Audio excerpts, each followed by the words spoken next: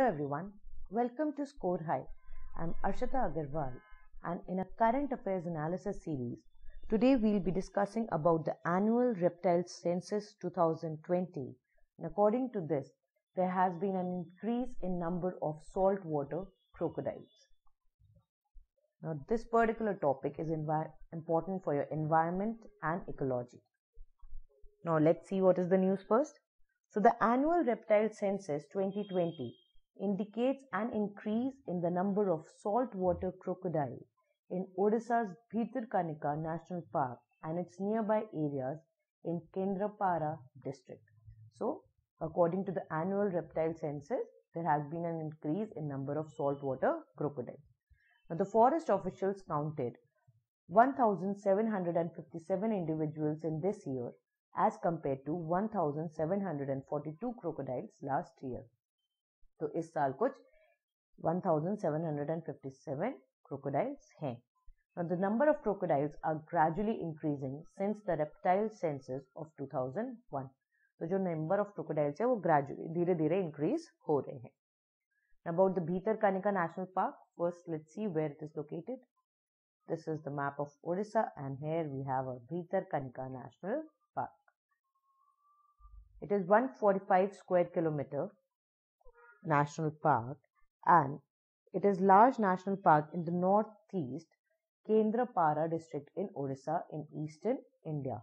So in the Kendrapara district it lies. Now it was designated national park on 16 September 1998 and obtained the status of Ramsar site on 19th of August 2002. तो ये जो भीतर Kanika national park है ये एक Ramsar site है Now the area is also also been designated as second Ramsar site of the state after Chilika Lake. तो पहला रामसर साइट ओडिशा का है चिलिका लेक सेकेंड है भीतरकनिका नेशनल पार्क ये सराउंडेड है wildlife Bhitarkanika wild life sanctuary से and the गहिर माता बीच and marine sanctuary they lie to the east separating swamp region and mangroves from the Bay of Bengal. Now, the national park and wildlife sanctuary is inundated by the rivers. These are important Brahmani, Baitarni, Dhamra, and Patsala. Remember the name of the rivers Brahmani, Baitarni, Dhamra, and Patsala. Now, it hosts many mangrove species and is the second largest mangrove ecosystem in India. Now, these are important points about Bhitarkanika National Park. The national park is home to saltwater crocodile, Indian python, king cobra, black ibis, darters, and many other species of flora and fauna. So, it has a rich variety of flora and fauna. Now, this we have seen. There are three species of crocodilians. First is mugger. The mugger crocodile, also called the Indian crocodile or marsh crocodile. ये पूरे Indian सब continent में मिलता है IUCN से इसको vulnerable status मिला है and mugger is mainly a freshwater species and found in lakes, rivers and marshes.